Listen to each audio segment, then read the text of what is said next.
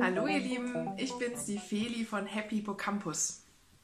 Hast du vielleicht auch bald eine mündliche Prüfung im Medizinstudium, sei es das mündliche Physikum, sei es schon das M3, also das letzte Staatsexamen, oder seien es Testate in Anatomie oder anderen Fächern? Dann bleib dran, in diesem Video erzähle ich dir fünf Schritte für die bestmögliche Vorbereitung. Schritt Nummer eins. Schritt Nummer eins ist ein eher kurzer Tipp. Sobald du erfährst, wen du als Prüfer hast, also sei es zum Beispiel fürs Physikum oder fürs M3, ähm, würde ich dir empfehlen, gib doch einfach mal kurz ein den Namen von deinem Prüfer und schau mal, wer diese Person ist. Schau dir an, was sind vielleicht die Forschungsbereiche, was sind die Schwerpunkte, ähm, an denen die Person, der Professor arbeitet. Und so kriegst du schon mal einen ersten Überblick, was dich vielleicht erwarten kann, welche Themen vielleicht schwerpunktmäßig drankommen können in der mündlichen Prüfung. Schritt Nummer zwei ist, nichts wie los und die Protokolle holen. Also das ist ein ganz wichtiger Schritt. Hol dir Protokolle, Altprotokolle, wenn es denn welche gibt, zum Beispiel vom mündlichen Physikum. Ähm, es gibt sehr häufig, dass die Fachschaften zum Beispiel Protokolle ausgeben von früheren ähm, Prüfungen, wo dein Prüfer, den du hast, geprüft hat. Und ja, hol dir diese Protokolle, es ist so viel wert. Und jetzt ist natürlich die Frage, wie gehst du dann mit diesen Protokollen um? Wie gehst du hier vor?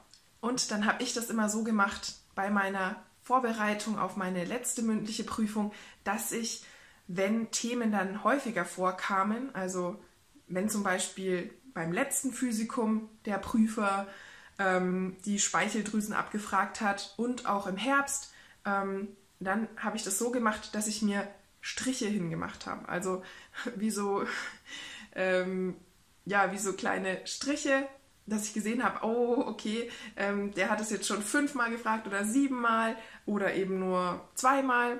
Und so hatte ich schon mal einen ähm, Überblick, okay, welche Themen sind relevant, welche fragt er wirklich häufig und welche eben nicht so häufig. Und mir hat es sehr geholfen, mir das rauszuschreiben, weil diese Protokolle häufig nicht so übersichtlich sind. Jeder Protokollant hat ein bisschen anders geschrieben und ähm, ich persönlich kann aus Fließtext heraus nicht so gut lernen. Aber guck, was für dich passt. Für mich hat es sehr gut gepasst, mir die wichtigsten Punkte rauszuschreiben. Und so konnte ich dann eben auch mir dann grün markieren, beispielsweise, was ich schon wiederholt hatte und ähm, rot, was, was ich vielleicht noch gar nicht konnte. Ähm, und ja, gelb, wo ich noch irgendwas nachgucken wollte zum Beispiel. Wenn du jetzt natürlich ein Testat in Anatomie hast, dann gibt es dafür ja häufig keine Altprotokolle. Das sind ja eher kleinere Prüfungen. Ähm, du kannst trotzdem was machen. Du kannst zum Beispiel ältere Semester fragen. Ähm, ja, da Studenten, die schon von demjenigen geprüft wurden. Oder du kannst natürlich auch im Prep-Kurs selber gut aufpassen, was fragt denn mein Prof schon während des Prep-Kurses häufig oder wo legt er sein Augenmerk drauf? Was fragt er vielleicht gerne? Es ist ja so, dass die Professoren, dass jeder ähm, so Sachen hat, die fragt er gerne, die fragt er öfter. Und wenn du da einfach schon die Ohren spitzt und ähm, da einmal guckst, okay, ähm, was fragt er zum Beispiel in Besprechungen? Bei uns gab es da häufiger so Besprechungen an der Leiche, wo wir ähm, ja, wo der Professor oder die Professorin gefragt hat, bestimmte Dinge und jeder konnte was dazu beitragen oder auch nicht. ähm, genau, und dass du da einfach wirklich die Ohren spitzt, denn die Wahrscheinlichkeit ist groß, dass der Professor vielleicht das Gleiche auch in den mündlichen Prüfungen fragt. Tipp Nummer drei ist nun natürlich, dass du die Dinge, die du entweder vorher dir in den Altprotokollen rausgeschrieben hast oder die du von höheren Semestern oder aus dem Prep-Kurs aufgeschnappt hast, dass du die nun lernst und in den Kopf bekommst. Das ist natürlich klar. Und ja, hier kann ich dir natürlich wärmstens ans Herz legen, mit Gedächtnistechniken zu lernen, denn mit Gedächtnistechniken kann man einfach viel gehirngerechter lernen. Ähm, Im Gegensatz dazu, wenn man sich die Fakten einfach nur versucht so einzuprägen.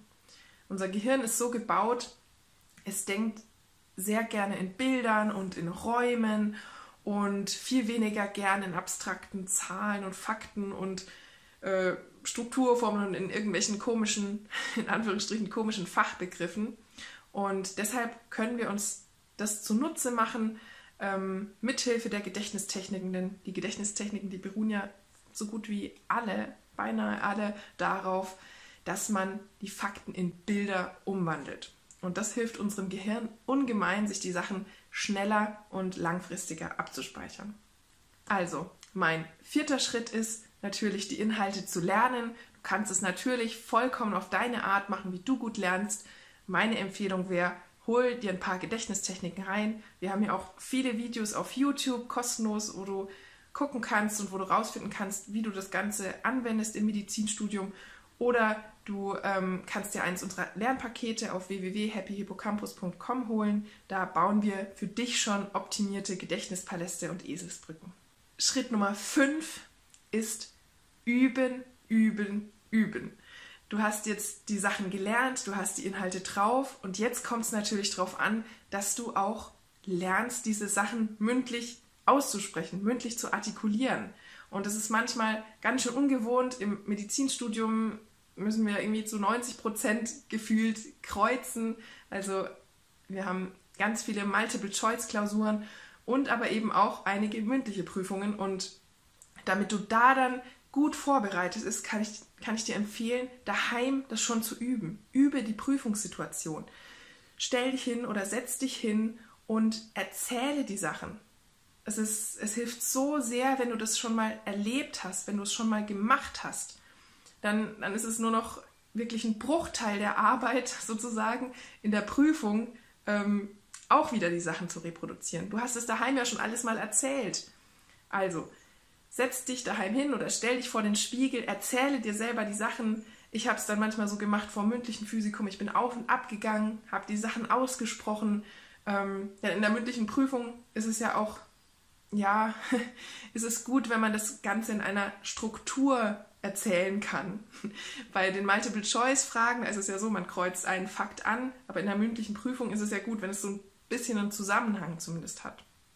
Und während du übst, kann ich dir auch ans Herz legen, versetz dich immer mal wieder in deinen Prof, in deinen Professor hinein. Frage dich, was würde denn ich an seiner Stelle fragen? Das hilft auch sehr, um mal die andere Perspektive einzunehmen vom Professor.